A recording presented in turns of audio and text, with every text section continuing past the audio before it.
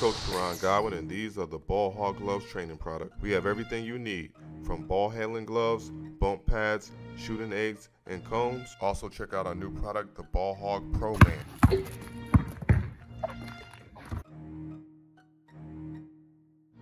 As Cissoko tracks it down.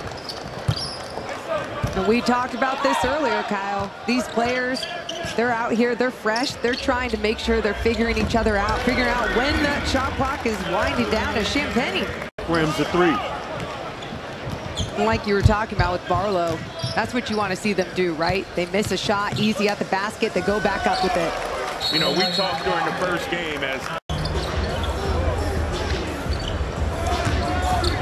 shot clock down to seven. Little two-man game, McCoy and Barlow. Mitty, no. Oh, look at Champagnie. Fourth-year man out of Virginia Tech. Had a cup of coffee in the NBA for Washington, OKC, Milwaukee. Points per game. Here he is on the defensive end. Look at the hustle by Kyer.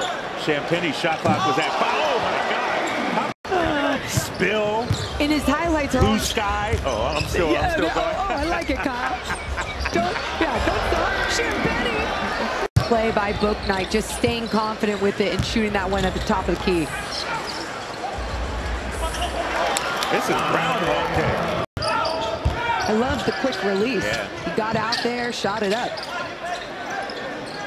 Here he is on the defensive end, trying to check Champagnie, bucket, and oh, the foul. Champagnie. Champagnie scoring in bunches here as the Spurs with a big lead over Charlotte. Cissoko with the rebound. Here come the Spurs. Champagnie League or their G League squad, they're going to play like a team and they're going to play together and they're going to hustle. Here's Blake Wesley. We mentioned Champagnie picking up right where he left off.